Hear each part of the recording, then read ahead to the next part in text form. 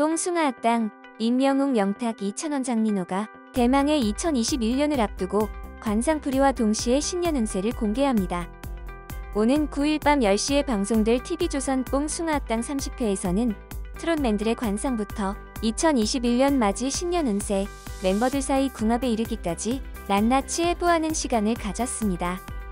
또한 멤버들 사이에서 풀리지 않는 난제로 떠오른 영탁과 이찬원의 세기의 외모 순위 논쟁에 종지부를 찍기 위해 영화 궁합의 자문위원이었던 관상가 박성준을 특별 손님으로 초대 흥미진진한 이야기를 나눕니다. 트롯맨들은 관상가 박성준에게 관상을 보면서 성격, 재물운, 애정운 등에 관해 이야기하는 시간을 가졌는데요.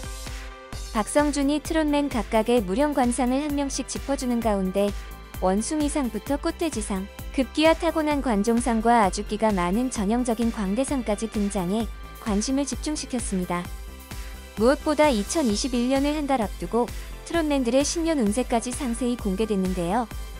더욱이 미스터 트롯 진으로 2020년 최고의 한 해를 보낸 임영웅이 2021년에는 더 좋아지는 형국이라는 사주가 나오자 장난꾸러기 막내 이찬원이 배 아파 라며 질투를 터뜨려 폭소를 선사했습니다. 뒤이어 다른 멤버들도 뽑기를 예고했다고 전해지면서 현장의 열기를 돋웠습니다.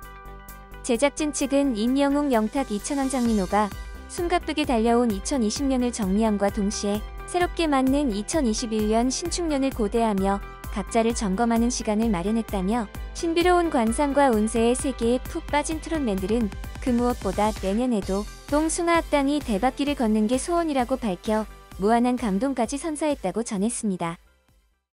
반응이 센 뉴스 CBC